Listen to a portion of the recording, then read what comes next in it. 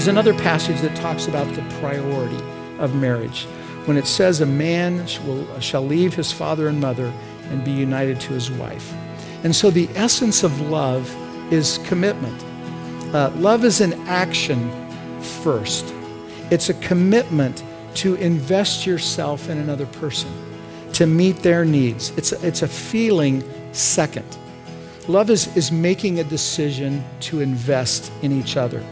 And the more you love someone, the more you give of yourself to them, the more you make a decision to keep investing in them. And the more you find your heart tied up with them, and the lovelier they will become to you.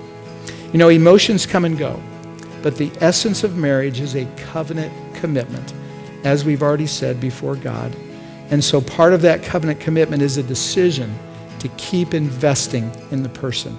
You have to decide to do that. You know, what could be a more profound and a primary relationship than this marriage relationship?